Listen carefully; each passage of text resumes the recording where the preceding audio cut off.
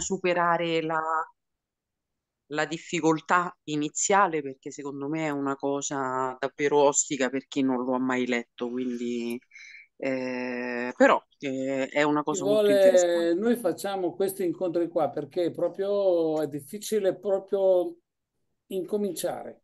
Sì. Perché non sai da che parte prenderlo, non, non lo sai, eh, non capisci niente perché se leggi le cose in modo disordinato non le capisci. Insomma, io parlo per esperienza. Eh. Certo. Ho, ci sì, ho provato, sì. mamma mia, sono andato avanti 4-5 anni senza capire niente io. Poi ho dovuto fare una scuola, eh. non, non te la cavi da solo.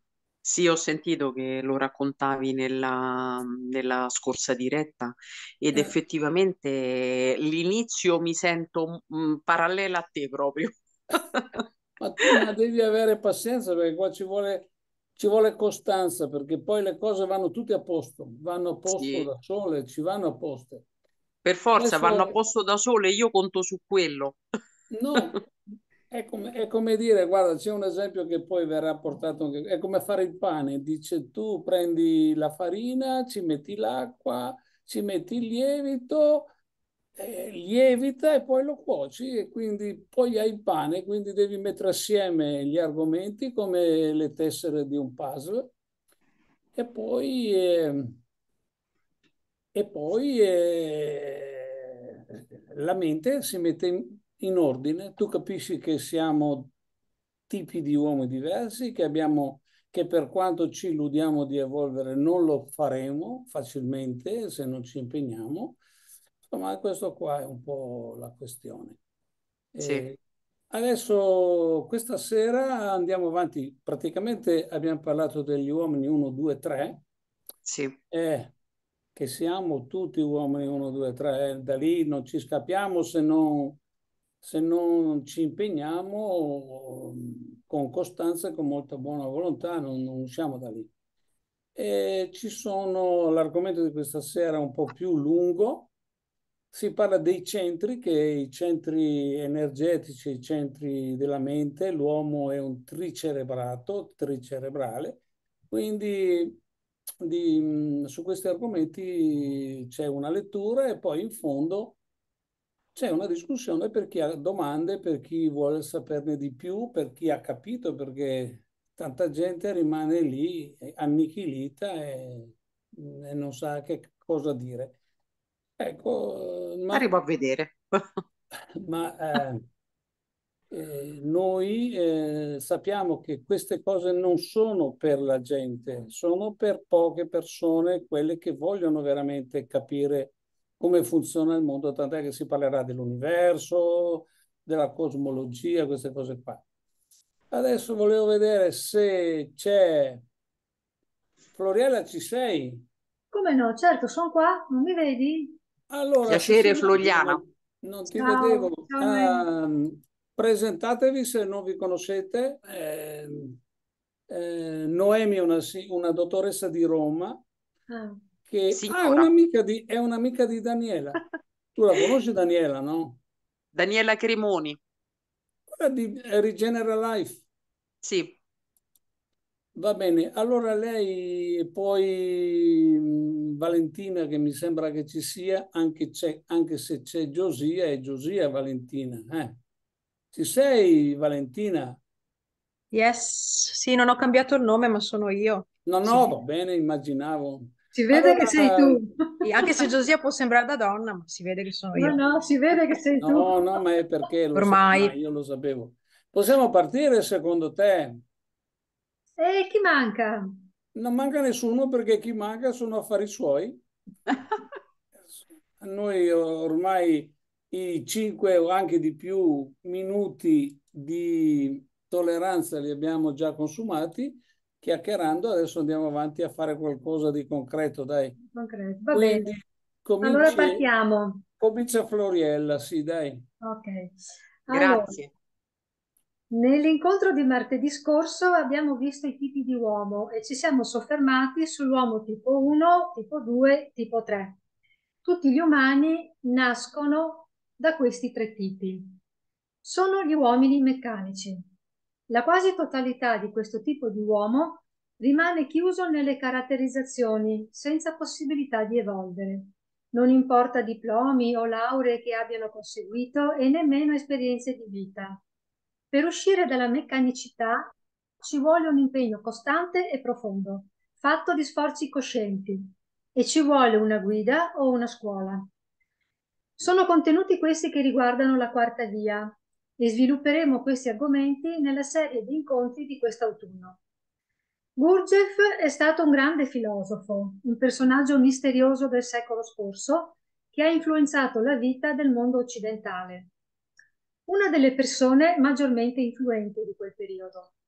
Ha portato dall'Oriente e dal Tibet insegnamenti segreti mantenuti nascosti e sconosciuti. Ospesky, un suo collaboratore e grande stimatore, ha riassunto il pensiero di Gurdjieff nel libro Frammenti di un insegnamento sconosciuto. Ha avuto e continua ad avere un enorme seguito e come i grandi ha avuto anche molti nemici. Nell'incontro della settimana scorsa abbiamo parlato dei tipi di uomo ed abbiamo sottolineato il fatto che l'umanità, nella sua complessità, è inerte e non accetta cambiamenti. Gurdjieff è stato quello che viene definito un seminatore, avendo influenzato in modo determinante la cultura occidentale. Ha portato molti insegnamenti universali che erano stati e sono tuttora proibiti. Li avevano già diffusi Pitagora e i pitagorici, che sono stati perseguitati fino ad essere bruciati a metà ponto. In tutta la terra ci sono testimonianze di una cultura sconosciuta, della quale si sono trovate testimonianze nei miti, nei simboli e nelle rovine di città sperdute in tutti i continenti. Le rivelazioni di Gurdjieff dimostrano che è esistita una umanità molto evoluta e che ora l'umanità sta regredendo rapidamente, rischiando la sua estinzione. Il segnale sarebbe l'enorme e assurda proliferazione di leggi che limitano la libertà e la salute e che consente la predazione economica. Nel raggio della creazione, che fa parte di questo ciclo di incontri, viene spiegato che il numero delle leggi aumentano mano a mano che ci si allontana dall'assoluto, dal creatore. Tutti gli umani possiedono tre cervelli, che esprimono tre menti. Lo sviluppo completo dell'individuo esige che i tre lavorino assieme. È una questione di coerenza oltre che di coscienza. Quello che penso, quello che sento e quello che faccio devono tendere alla stessa direzione. Non ci devono essere resistenze o contraddizioni. Lo sviluppo richiede armonia, coerenza e costanza. Abbiamo visto che nelle vie del fakiro, del monaco e dello yogi lo sviluppo è parziale. Le tre vie sono da considerare come passi successivi, propedeutici, come le classi di una scuola, dai primi elementi fino alle scuole superiori e, e ad un'università. L'evoluzione è un processo graduale. Le tre vie hanno la caratteristica comune di essere isolate con una componente di, fama, di fanatismo propria delle fasi di apprendimento. Gurdjieff afferma che lo sviluppo della coscienza umana è come un bambino che impara.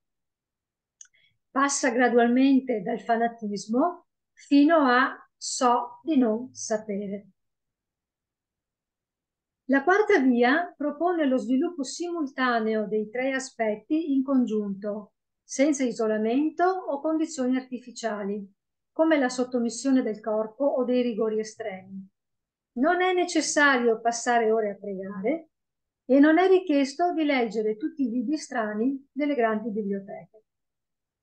L'aspetto psicologico della quarta via è la pratica di comportamenti che consentono di trasformare le emozioni negative e ottenere uno stato di coscienza più elevato. Nel sistema cosmologico di Gurdjieff vedremo il rapporto dell'uomo con i satelliti, la Luna ed il Sole. Come proseguimento della descrizione dei tipi di uomo, facciamo un cenno al tipo 4.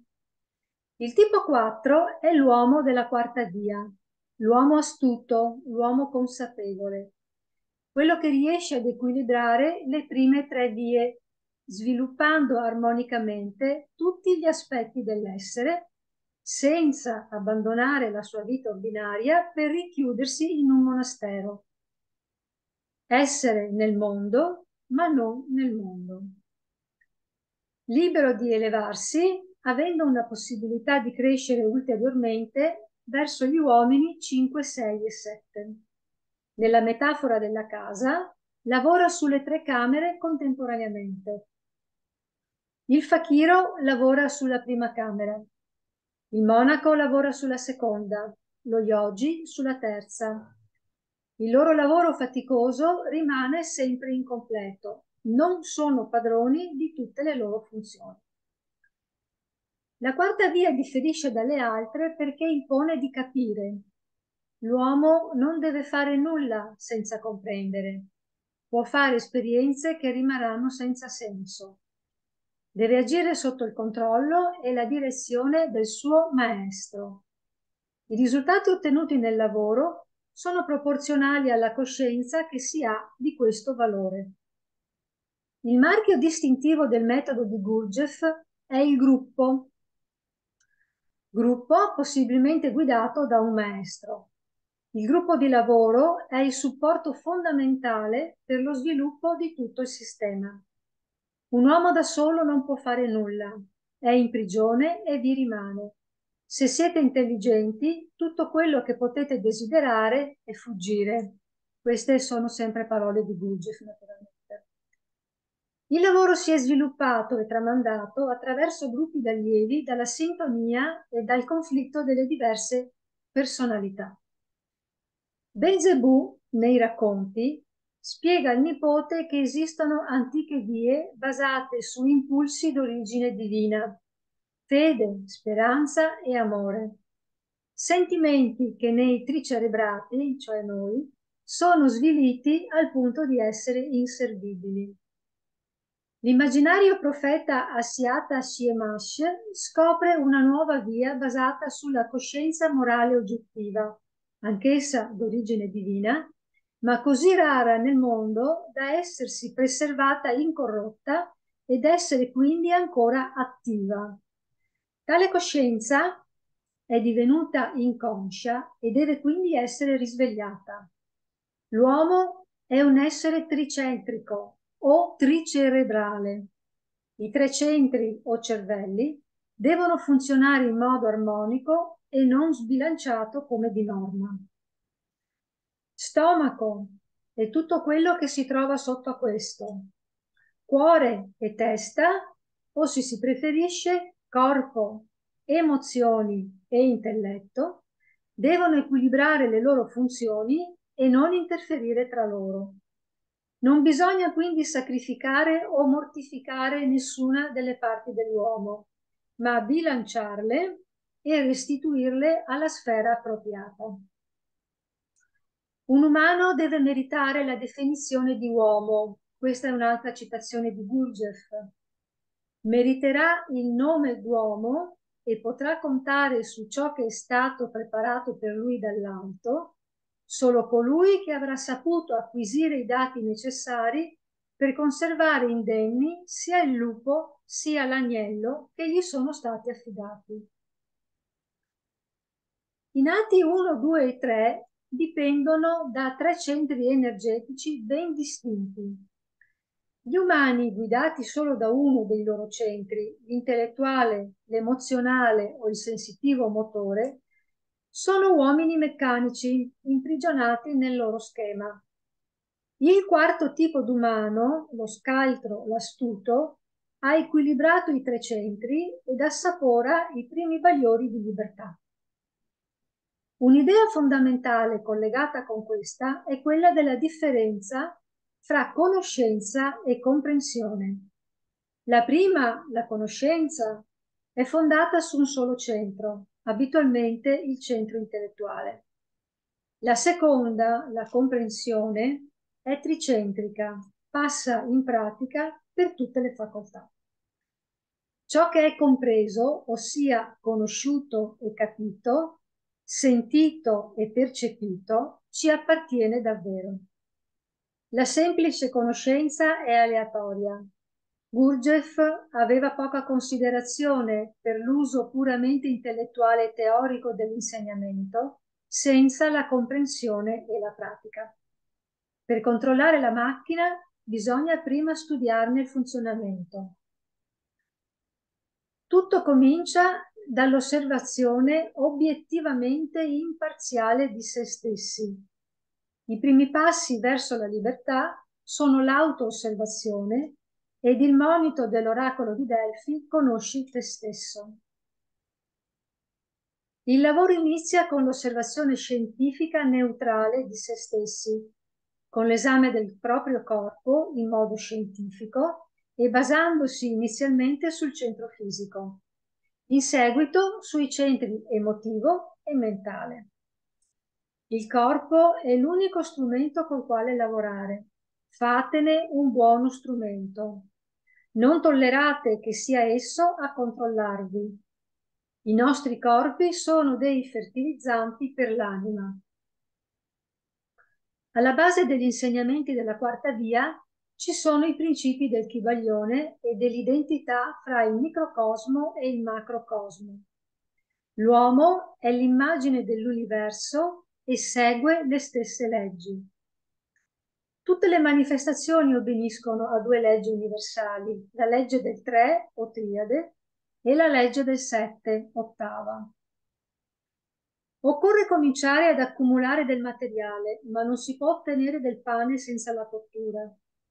La conoscenza è acqua, il corpo è la farina e l'emozione, cioè la sofferenza, è il fuoco.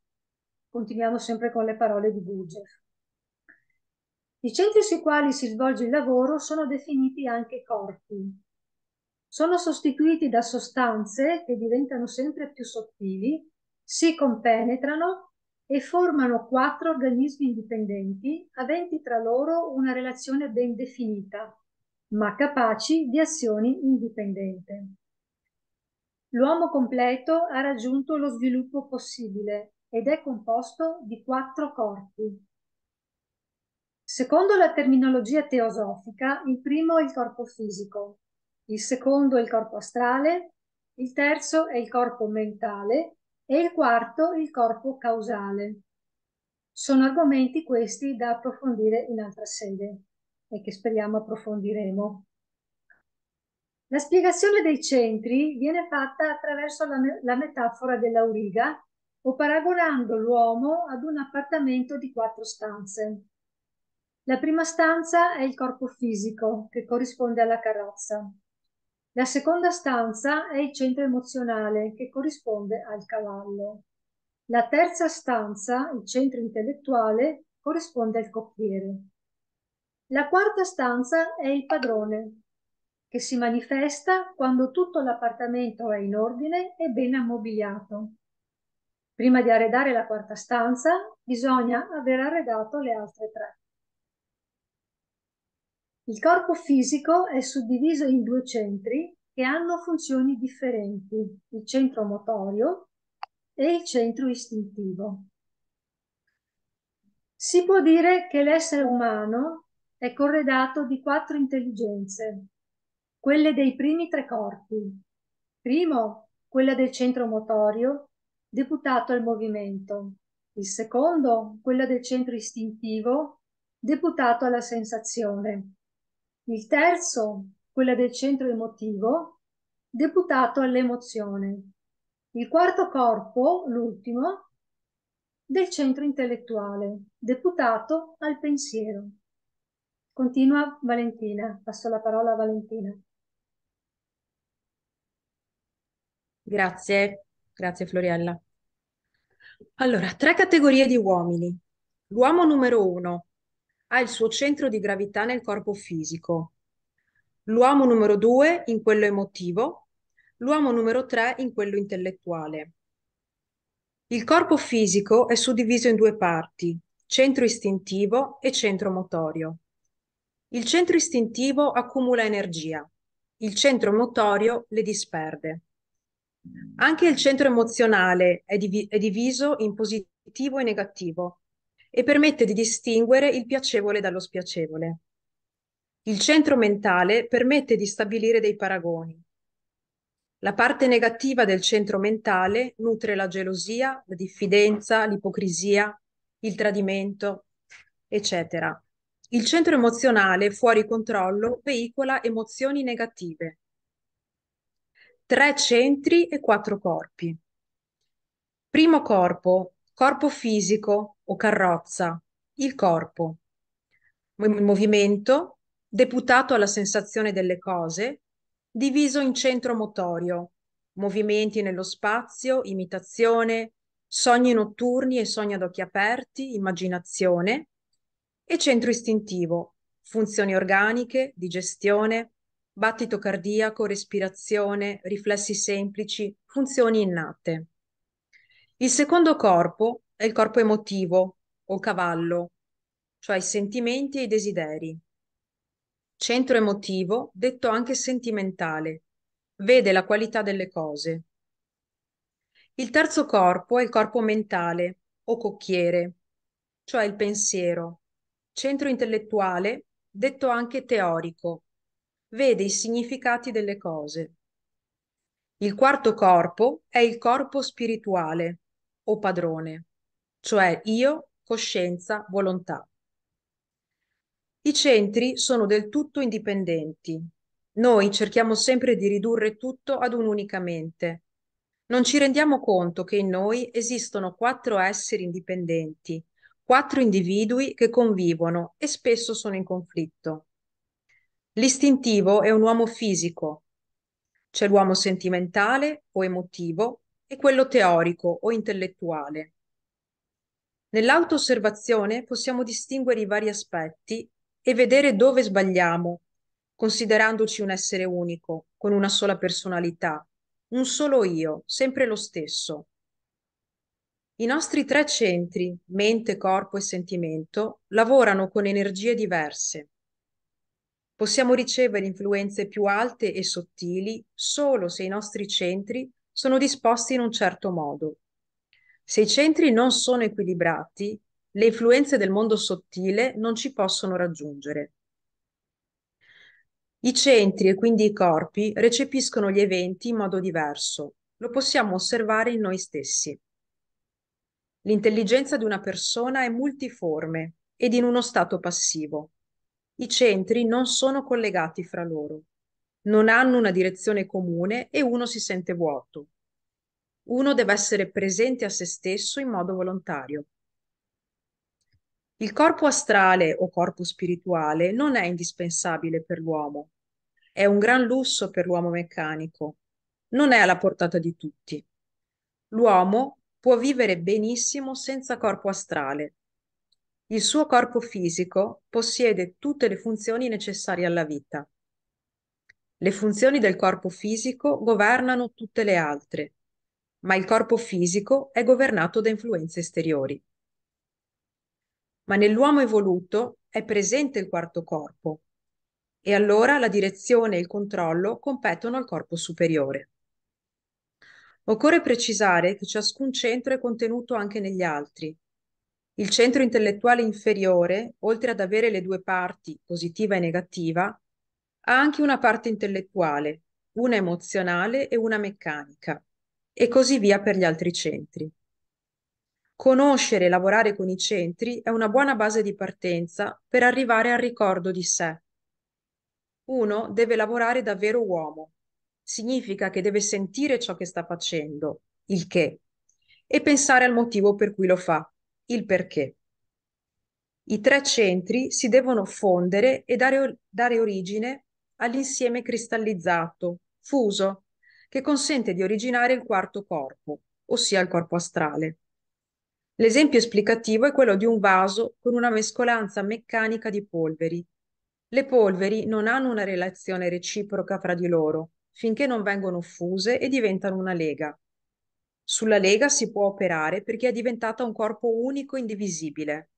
È stata fusa per mezzo del fuoco. Il fuoco per la fusione dei centri inferiori nell'uomo è il conflitto, la frizione, la lotta tra il sì e il no. Se un uomo non resiste mai ad alcuno dei suoi desideri, o è loro accondiscendente, o peggio, se li lusinga, li incoraggia, non ci sarà mai un conflitto interiore, una frizione, un, fuo- non, un fuoco che faccia fondere i tre centri. Per raggiungere uno scopo definito, egli deve lottare con i desideri che lo ostacolano. La lotta è il fuoco che trasformerà gradualmente il suo modo interiore in un tutto, il suo mondo interiore in un tutto. Per giungere alla quiete totale in cui sarò libero di conoscere, devo abbandonare sia la pretesa di esserne capace, sia la mia convinzione in ciò che credo. Devo riconoscere quanto mi inganno, devo riconoscere la mia povertà di spirito.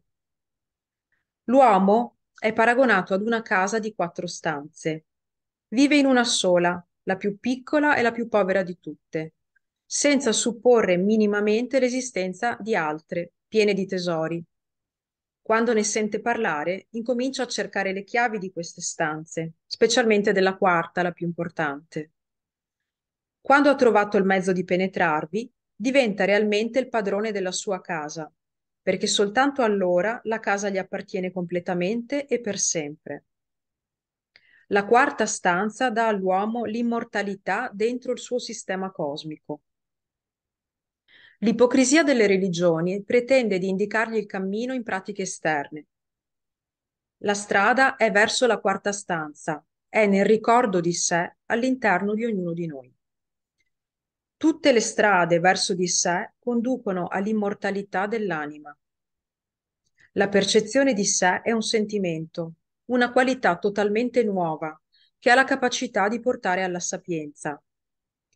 Quando appare questo sentimento, il pensare perde l'autorità e il corpo, perde l'autorità ed il corpo, libero dalla sua influenza, si rilassa.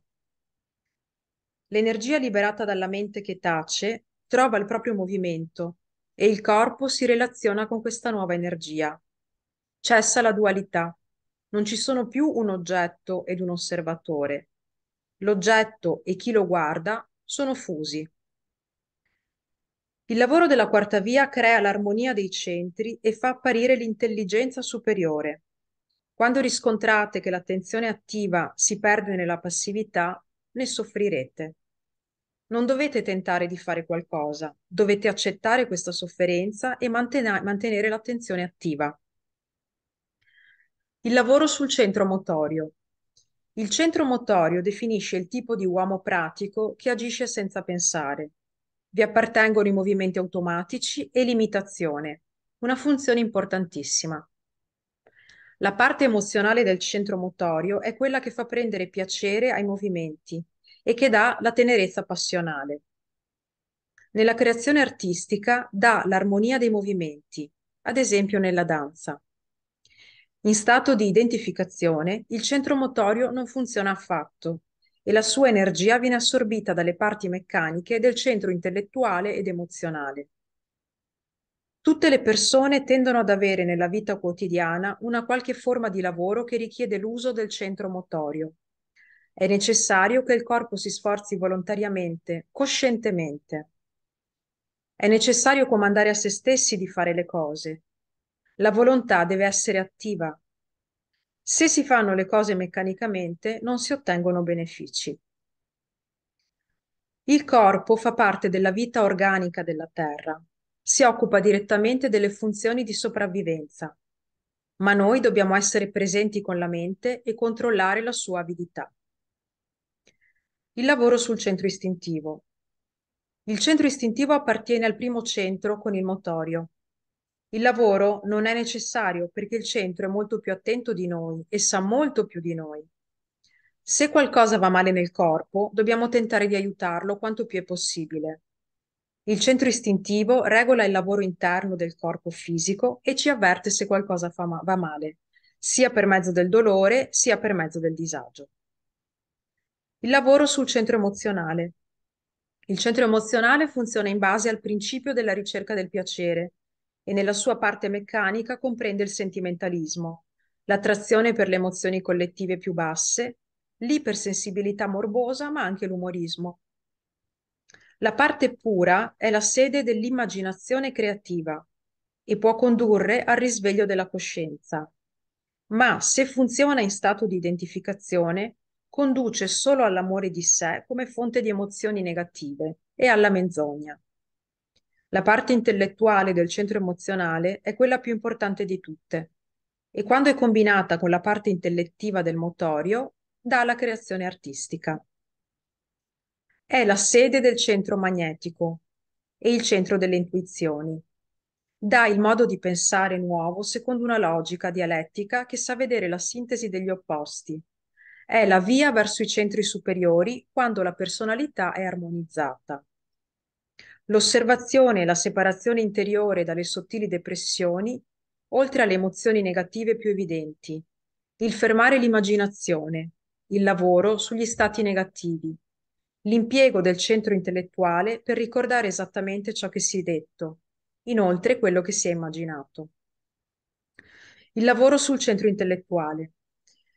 Nella maggior parte degli uomini il centro mentale lavora solo nella sua parte meccanica, il che significa che l'uomo non sa pensare. Deve ancora imparare a usare la sua mente. Non sa porre attenzione, non ha volontà. La parte emozionale del centro mentale è invece quella che fa prendere piacere al lavoro mentale e allo studio. Dà la passione intellettuale oppure l'erotismo e vari tipi di immaginazioni inutili, ma anche il desiderio di conoscere e la soddisfazione di sapere. La parte intellettuale pura ci dà il pensiero vero e proprio che conduce alle scoperte e alle invenzioni con imparzialità, attenzione e sforzo. Tutti gli uomini devono compiere un qualche genere di lavoro intellettuale. Qualsiasi tipo di pensiero che richieda attenzione lo colloca nel lato cosciente del centro intellettuale, così come pensare a qualcosa che si è ascoltato e cercare di ricordarlo leggere un libro che esige attenzione, scrivere lettere, fare conti, eccetera. Tutti devono far funzionare il proprio cervello, tutti i giorni. Ciascuno di voi prende in considerazione un oggetto qualunque e al suo riguardo si ponga le seguenti domande, rispondendo in base alle proprie conoscenze e al proprio materiale. La sua origine, la causa della sua origine, la sua storia, le sue qualità e i suoi attributi, gli oggetti in contatto in relazione con esso, i suoi usi e applicazioni, i suoi effetti e conseguenze, quali cose esso permette di spiegare e dimostrare, la sua fine o il suo divenire, la vostra opinione su di esso, la causa e i motivi di tale opinione. Grazie Valentina, grazie Florielli, siete state bravissime.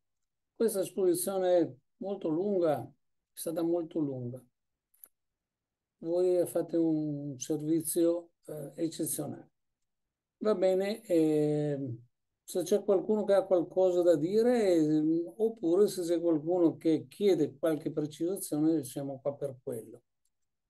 E io volevo prendermi qualche qualche minuto per spiegare un paio di cose, perché durante l'esposizione si parla di ehm, si parla dell'immortalità.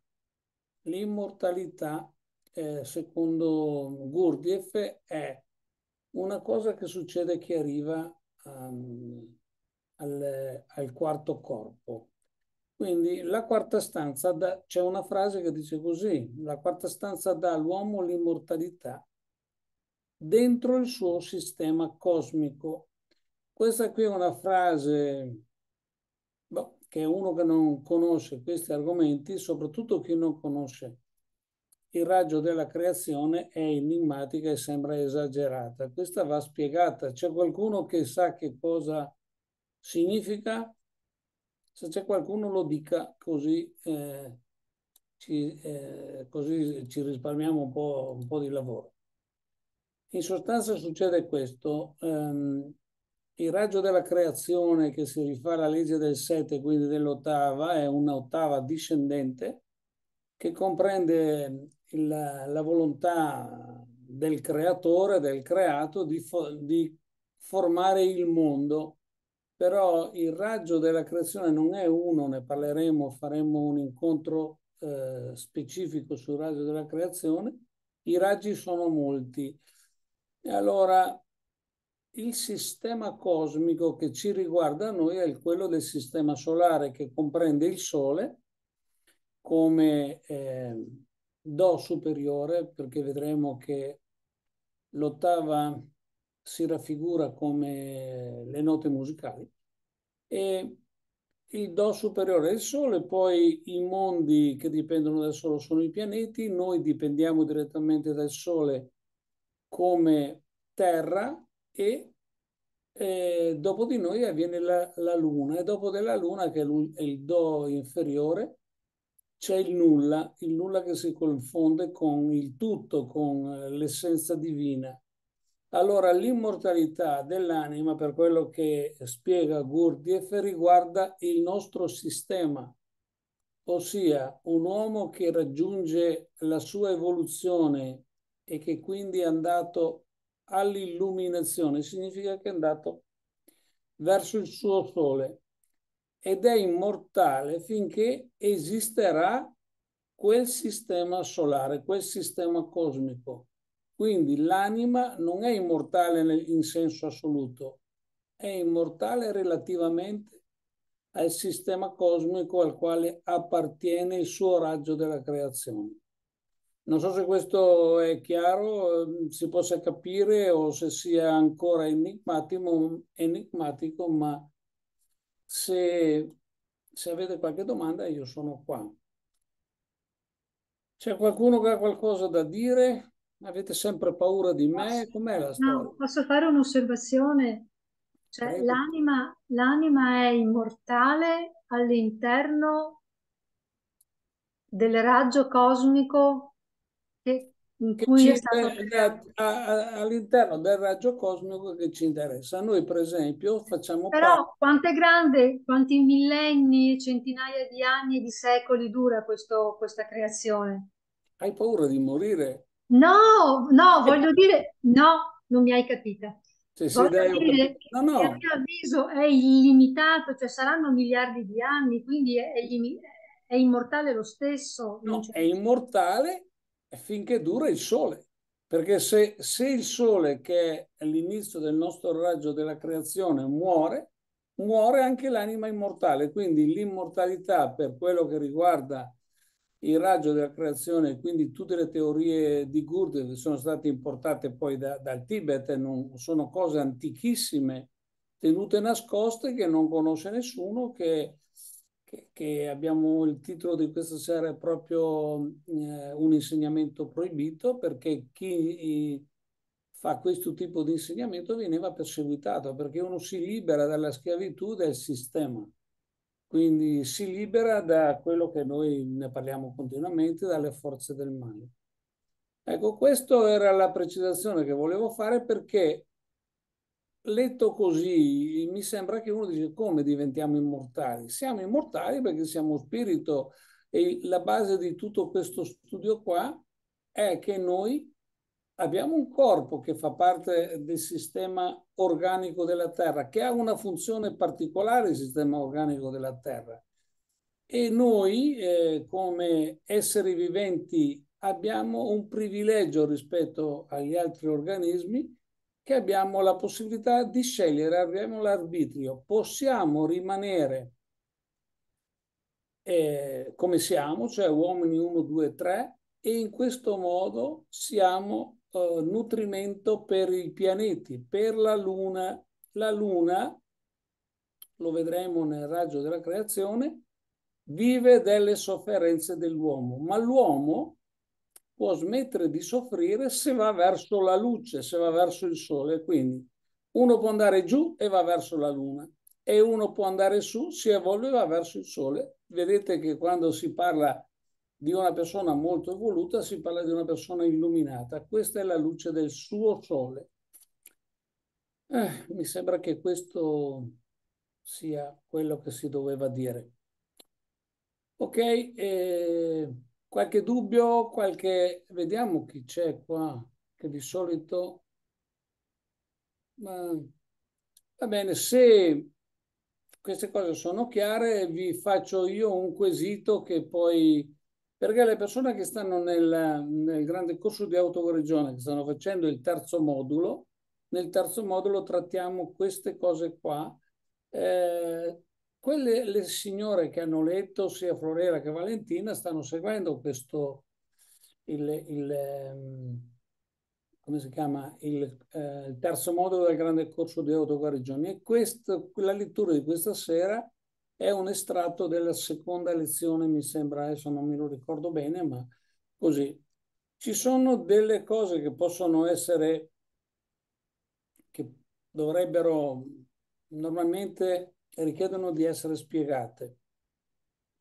La questione dei tre centri e dei quattro corpi, ne abbiamo parlato ancora, ma il fatto è che noi eh, um, siamo uomini 1, 2, 3, dipendiamo dai centri eh, um, istintivo motorio, dal centro emozionale al centro intellettuale.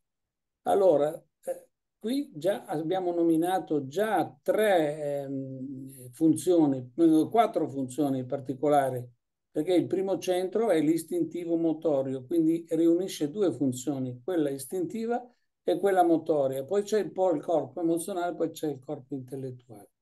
Questi comunque definiscono i tre corpi che abbiamo anche visto, il corpo fisico eh, che è stato descritto, il corpo eh, emozionale e, e, il corpo intellettuale. Il fatto è che noi parliamo sempre di tre centri che definiscono tre corpi e poi ci troviamo un quarto corpo che è il corpo spirituale. E cosa vuol dire questo? Vuol dire semplicemente che al quarto corpo non abbiamo normalmente accesso, quindi si parla di, dei tre corpi che fanno capo ai tre centri, ma i centri sostanzialmente sono cinque. E, e i, i, due centri, il, il, il centro eh, intellettuale superiore e il centro emozionale superiore, fanno parte del mondo sottile, al quale noi non avremo accesso fino a che non abbiamo sistemato, equilibrato i primi tre centri. Quindi i primi tre centri ehm, una volta che sono fusi, come abbiamo visto, le polveri metalliche in un crogiolo che diventano una cosa sola, organica, ehm, monolitica, non, possono, non danno la possibilità di andare al piano superiore, per così dire, per arri di arrivare alla quarta stanza, di diventare il padrone della carrozza, di diventare eh, l'abitante della, della, quarta stanza, di diventare il padrone della casa. Eh, eh, questo, questi argomenti eh, interessano perché? Perché noi eh, normalmente abbiamo l'illusione di poterci evolvere e non ci riusciamo. Ehm, quindi tre centri che definiscono i tre corpi eh, ci possiamo domandare come mai ne abbiamo quattro, il corpo spirituale, il corpo astrale. Il fatto è che i centri, come ho appena detto, sono cinque, ci sono altri due centri che sono quelli eh, che gli uomini 1, 2, 3 non possono, non, non possono accedervi. La quarta stanza eh, resta vuota, la carrozza resta vuota se prendiamo la, la metafora dell'auriga. Sono i centri emozionali superiore e il centro intellettuale che danno origine al corpo astrale, il padrone, la stanza, il passeggero della carrozza, che l'abbiamo anche ripetuto molte volte. Quindi eh, mi sembra che questo doveva essere chiarito perché per me questo è rimasto un dubbio, perciò io parlo di me personalmente, per, era un particolare che non riuscivo a mettere a fuoco perché nessuno me l'aveva spiegato, da solo non ci arrivi, questo è il concetto. Bene, eh, io mi sembra di aver parlato anche troppo, aspetto voi. Ci fai un esempio di quando i tre centri devono lavorare insieme, che devono essere in armonia fra di loro? Allora, i I centri sui quali lavoriamo normalmente sono tre e allora sono il corpo, eh, il centro motorio e istintivo, il centro emozionale e il centro eh, intellettuale. Ricordiamoci tre corpi, eh? Tre. Allora, eh, possiamo immaginare una, un diagramma fatto a torta, un, un disco. Hm? Prendiamo un disco, lo dividiamo a metà, la metà dominante è quella del centro, cioè prendiamo il centro emozionale per fare un esempio. Dividiamo eh, un disco a metà, metà di quel disco rappresenta il centro emozionale. L'altra metà rappresenta ancora i tre centri, cioè vuol dire che in ogni centro ci sono anche gli altri tre. C'è ancora una parte della metà, cioè un terzo della metà, che è ancora emozione, un terzo che è istinto e, e movimento e un terzo che è emozionale. Cioè noi dobbiamo fare in modo che tutti e tre i centri diventano uno, perché abbiamo visto nel, nella lettura precedente che l'uomo 1, l'uomo 2 e l'uomo 3 non comunicano tra di loro e non possono comunicare neanche col numero 4. Questo è il caos. Non so se ti ho risposto, ma se no mi devi mettere, porre la domanda in un altro modo. Cioè... Mi riferivo alla frase che ho letto, quello che penso, quello che sento e quello che faccio devono tendere alla stessa direzione. Non sempre ci accorgiamo no. di questa cosa, non ci facciamo caso perché siamo presi dalle cose quotidiane, dai problemi che abbiamo e non facciamo caso di dirigere tutti e tre i centri nella stessa direzione. Allora, il problema è che gli uomini 1, 2, 3 non hanno volontà, quindi non si impegnano e preferiscono come scorciatoia mentire a se stessi. Quindi uno vive tranquillamente di delle mm, menzogne che si racconta, però non si impegna a evolvere, si giustifica si identifica, che anche questa è una cosa molto da sottolineare perché nell'identificazione nascono tutti i problemi e quando uno è identificato non può agire. Quando uno è identificato non viene mai raggiunto da quelli che sono i centri superiori e quindi la strategia è quella di impegnarsi perché dice qual è il fuoco che fonde i centri Abbiamo visto durante la lettura, non so se l'hai letta tu o l'ha letta Valentina, il, sono le frizioni, sono le, i conflitti. I conflitti li devi vivere, i conflitti rappresentano il fuoco che fa ehm, eh, armonizzare i centri. Il fuoco è la sofferenza, non puoi evitare la sofferenza. La sofferenza per la tua evoluzione la devi affrontare, altrimenti te ristai lì dove, dove sei, perché vivi nel mondo istintivo e motorio, dove fa tutto il centro istintivo e, e tu non hai coinvolgimenti emotivi o intellettuali. Vedi che emotivo e intellettuale significano gli altri due centri. Vuol dire che tu devi avere tutti i centri attivi. Ti ho risposto o no? Così, così, così. Non so, non, non so, forse non capisco la domanda. No, no, vabbè, no, eh, sono ostici gli argomenti, quindi non è che tu non rispondi. Va bene. Sono, di difficili, sono difficili da attuare, ecco, per questo ti dico così. Eh, cara mia, ci vuole, eh. bisogna, ci vuole impegno. Il problema è che, ti dico, gli uomini 1, 2, 3 non hanno volontà. Non si capiscono, parlano ma non si capiscono neanche da, tra sé e sé, non si possono capire e perciò neanche con gli altri. Abbiamo visto il trattato chiaramente nell'altra nell'altro incontro, la settimana scorsa, nella lettura.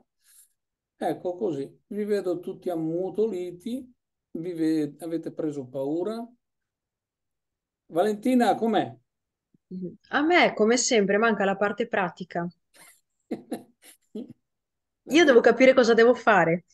Eh, devi fare, devi eh, agire eh, con un programma, con volontà, i passi li hai fatti tu, ne hai fatto tanti di passi, hai fatto anche eh, il percorso di coaching, ho fatto, faccio, guarda, se tu segui alla lettera pedantemente il percorso del mago, ha dentro questi concetti qua, che tu lo conosci e tu te le dispensi, quindi va Sì, bene. ma quando noi parliamo dei centri, giusto? Mm. Com'è che li devo equilibrare io sti centri? Cioè, un esempio pratico, in un qualcosa di quotidiano. Allora, anche, anche, questo, anche questa sera si parla dell'auto-osservazione. Tu ti osservi. Hai mai provato a pensare di quale centro, quale centro, da quale centro sei dominata? Hai mai pensato se nel, nel, tu sei coerente con quello che sai? Perché il problema è, è, quello che è nel titolo del libro, quando sei cosciente devi essere coerente, Coerente, eh. perché credo che tu la teoria l'abbia imparata molto bene e poi eh, la pratica non riesci a, ad eseguirla perché non sei coerente. Guarda che io ne conosco tante di persone che sono molto avanti con la conoscenza, però non riescono a metterla in pratica, non, non riescono, cioè non hanno volontà. Eh, questo, è, questo è proprio il nocciolo della questione, non hanno volontà, non si sanno concentrare, non sanno soffrire. C'è una collaboratrice di, di Gurdjieff, che non mi ricordo il nome adesso, comunque eh, è una che ha insegnato fino alla fine del secolo, eh, che dice diceva ai suoi allievi, voi non soffrite abbastanza. Mm?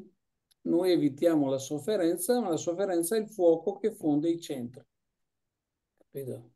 La sofferenza è il fuoco che fonde i centri. C'è l'esempio delle polveri, che l'hai letto, l'hai letto proprio tu. Se tu non fondi attraverso il dolore, la volontà, l'impegno, eh, i tre centri, tu continui a essere separato e separata non combini niente. C'è tutta la storia dei molteplici io, che non l'abbiamo ancora vista, ma la vedremo nei prossimi incontri.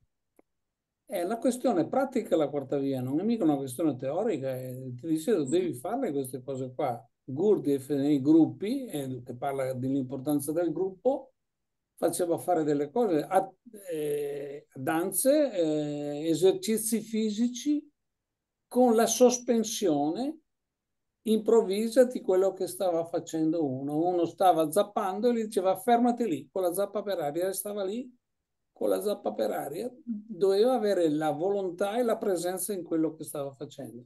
E lui restava lì, lo lasciava lì, perché quello era la scuola. Capito?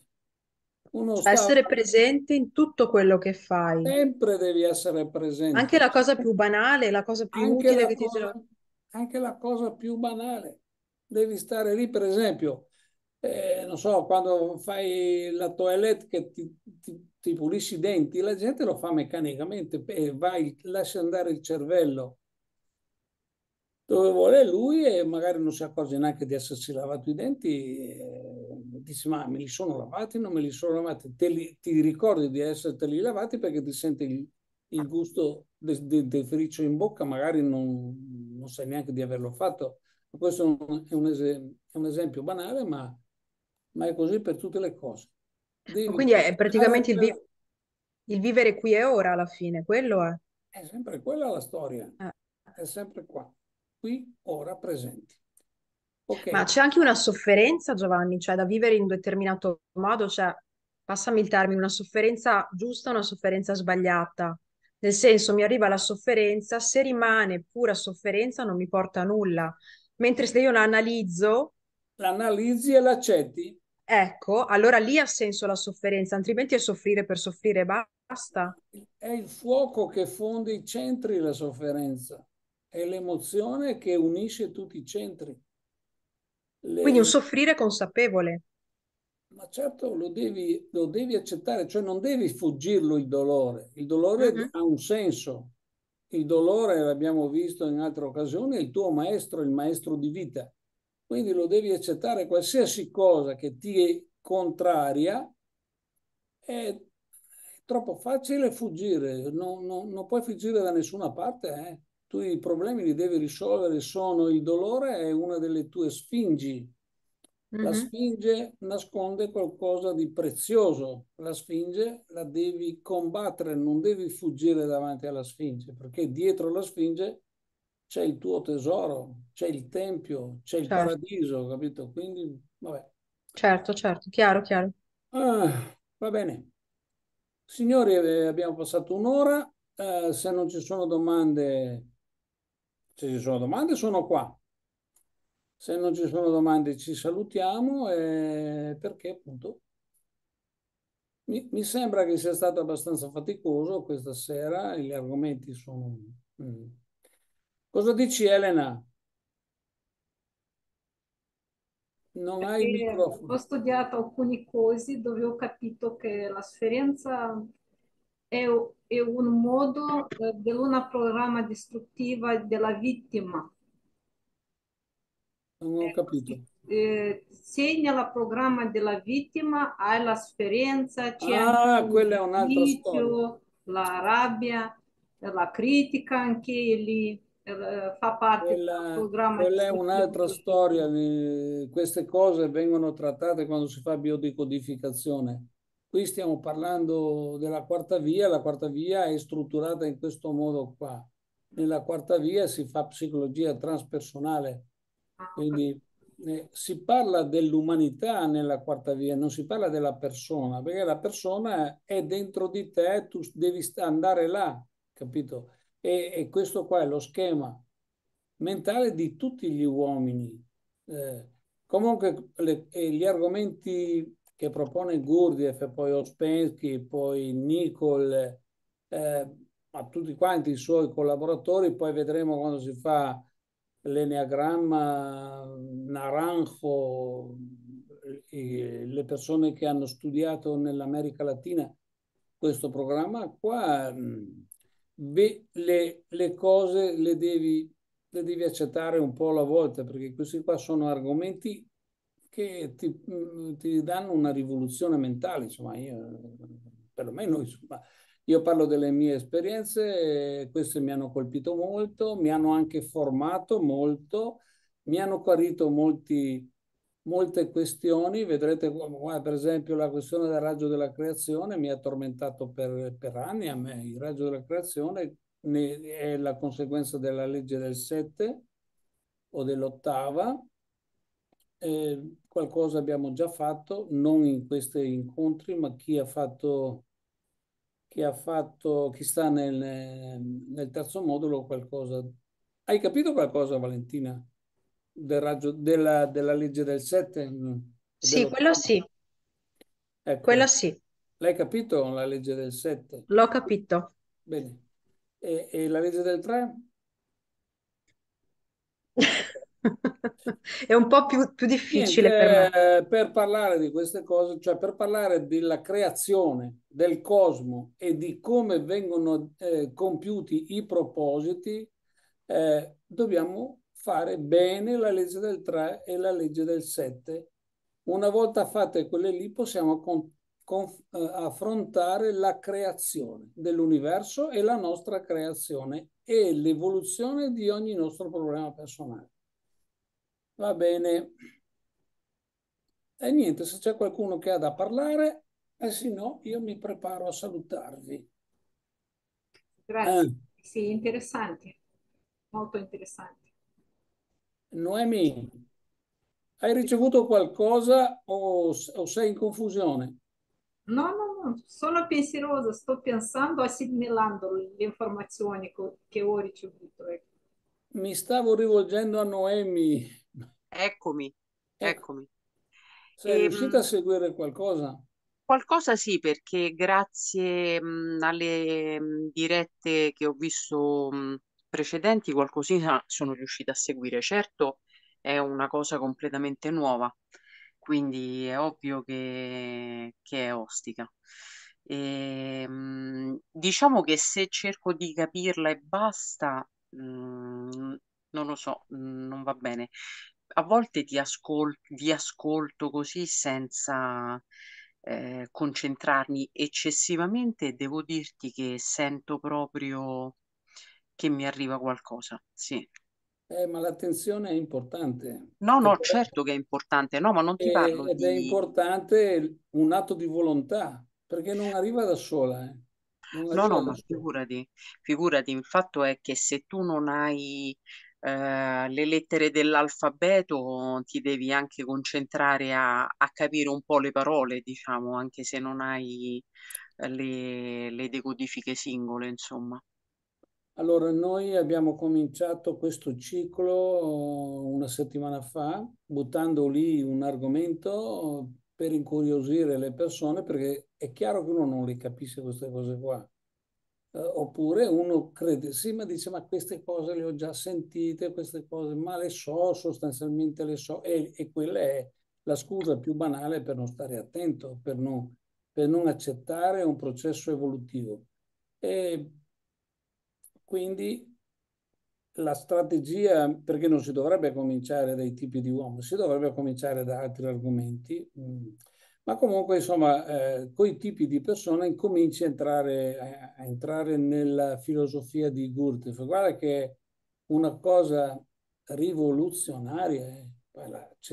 Tu non sai quanta gente c'è che studia Gurdjieff e quante scuole ci sono, ma in tutto il mondo, eh, in tutto il mondo gente che ha commentato le lezioni, gente che ha commentato i gruppi, che ha commen- perché poi eh, Gurdjieff è stato a Parigi, è, è dovuto scappare da prima dall'Eritrea, poi da Mosca, da San Pietroburgo, poi a Parigi eh, hanno comprato un castello, ci muoveva con 100 persone, tutte, tutte persone super esperte nei loro eh, nei loro settori. E Ospensky era un professore universitario, un professore di fisica, di matematica, di filosofia, un personaggio che, che quando si sono incontrati hanno fatto la rivoluzione, insomma. Eh, cioè, sono in, in America, hanno eh, in Colombia e, e in Perù hanno fatto delle scuole che hanno sviluppato l'enneagramma del persone, delle persone, i tipi psicologici, queste cose qua. Li vedremo. Io l'ho conosciuto Claudio Naranjo, eh, che è stato uno dei, dei discepoli di Gurdjieff. Vabbè, eh, succederanno delle cose. Se, se avrai pazienza, ce ne vuole molta pazienza, ci vuole molta costanza ci vuole molta coerenza perché la gente non è coerente. La gente gli si racconta tante di quelle balle e poi si domanda perché le cose non funzionano. Non, si, non funzionano perché uno mente a se stesso, insomma. Va bene. Io vi ringrazio di essere stati presenti, dei vostri interventi. La, martedì prossimo parleremo di, di che cosa, in che cosa consiste il lavoro sbagliato sui centri, visto che eh, i centri sono la base di questo lavoro. Quindi martedì prossimo, se ci sarete, parleremo di quello. Ok, vi ringrazio della vostra presenza, vi do la buonanotte.